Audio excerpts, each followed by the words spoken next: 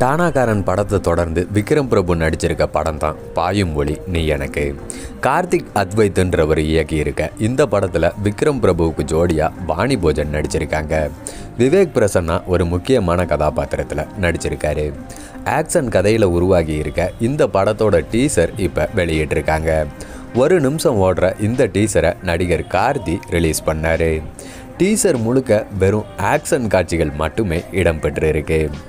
கடைசியாக ரிலீஸ் ஆன விக்ரம் பிரபுவோட இரண்டு திரைப்படங்களுமே பார்த்தீங்கன்னா ரசிகர்கள் மத்தியில் மிகப்பெரிய வரவேற்பை பெற்று இருந்துச்சு அதனால் இந்த படத்து மேலே எதிர்பார்ப்பும் அதிகமாகவே இருக்கு.